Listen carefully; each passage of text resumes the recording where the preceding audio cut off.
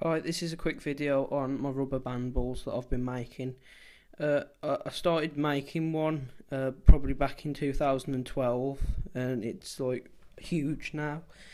Uh, but recently, I I stopped for a while and recently I start uh, started make uh, adding to the big one again and starting some smaller ones.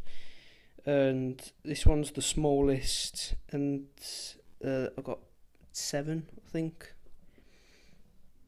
and uh, yeah, some people start with adding like a ball in the middle or using like paper, like a screwed up ball of paper or a ping pong ball or a tennis ball, but it it's kind of cheating. Like what you're supposed to do is add a, like a large rubber band in the middle and wrap smaller ones around it, and eventually it'll turn into a ball, and then it'll get rounder and rounder as it gets bigger.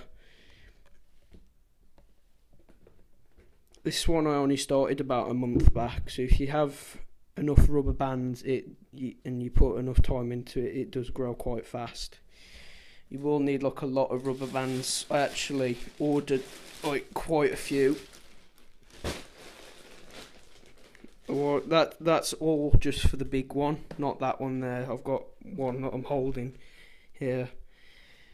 But there's that's I think that's that's five pounds of rubber bands that is. So that's that's quite a lot. And that's that's the big one. I think I started it back in 2012. I'm not 100% sure though. So I've had it I've had it for a long time. And it's it's just solid rubber bands. That table's going to collapse. It's making noises. I'm going to have to take it off the table. I think the table's going to break. You can't really get a good size comparison of it. That that's a Samsung phone, and that's my hand. It's it's bigger than a basketball now, and I I think it probably weighs anywhere between thirty and forty pounds. As I say, there's a there's another like five pounds of rubber bands there that I'm going to add onto it, and I've already added about four pounds onto it in the past probably couple weeks. So yeah, thanks for watching. If you'd like any more videos like this, uh, like and comment on the video.